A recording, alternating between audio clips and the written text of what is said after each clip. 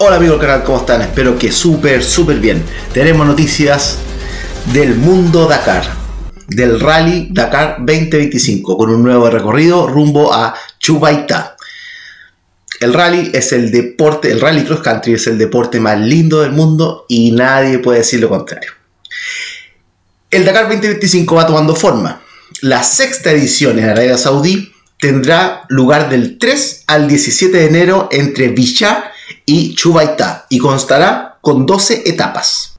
David Casterá dio a conocer la 47 edición del Rally Dakar ante 700 invitados reunidos en el circuito off-road de Les Coms, cerca de Barcelona.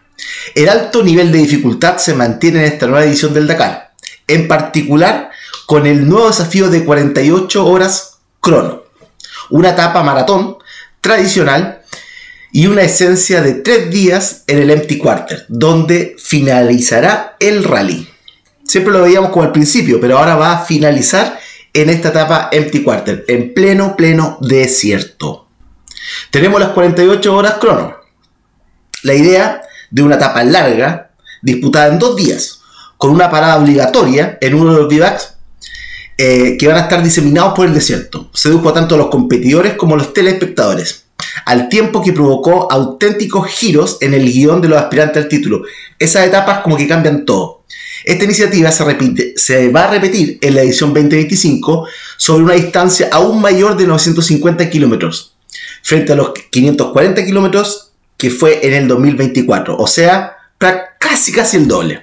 Y en esta ocasión sobre un terreno más variado alternando tramos más técnicos y rápidos. El desafío va a llegar en la primera semana, con oportunidades para abrir brechas y para que cambien las posiciones y se reordene todo. Vamos a tener rutas separadas. Para reducir el número de adelantamiento entre coches y motos, se preparan recorridos diferentes, al menos en cinco etapas de este Dakar. Más allá de las preocupaciones relativas entre la seguridad, porque siempre hay accidentes, estas rutas independientes permiten colocar a los equipos de autos en posición de navegantes sin poder aprovechar las huellas dejadas por las motos, que siempre son una ventaja al hacer coincidir la salida de las especialidades con los primeros rayos del sol. Los participantes FIA también se beneficiarán de días de carrera a plena luz del día, lo que limitará el número de llegadas tardías al vivac.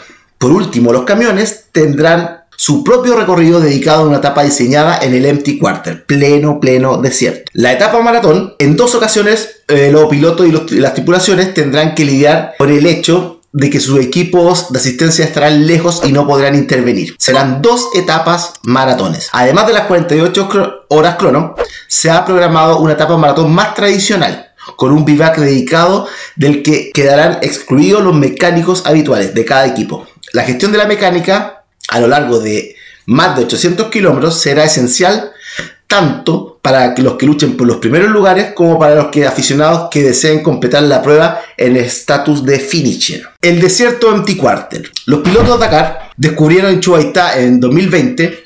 Desde entonces, esta puerta de entrada al inmenso desierto de Empty Quarter ha sido visitada en las dos últimas ediciones del Dakar como punto de referencia para la exploración para la navegación, que cada vez va a ser más profunda en este océano de dunas. En esta ocasión, Chubaitá marcará el final de la aventura, como un faro hace que los pilotos debiesen dirigirse para encontrar la salida. Esto va a provocar, creo yo, muchas diferencias y todo puede pasar en esta, en esta última etapa. Después de tres días de navegación entre shots y dunas, incluyendo una especial de más de 400 kilómetros. En la última etapa, las extensiones de arena casi infinitas compartirán protagonismo con los autos, las motos y obviamente los camiones, que tomarán la salida en línea. Un espectáculo que va a estar pero garantizado.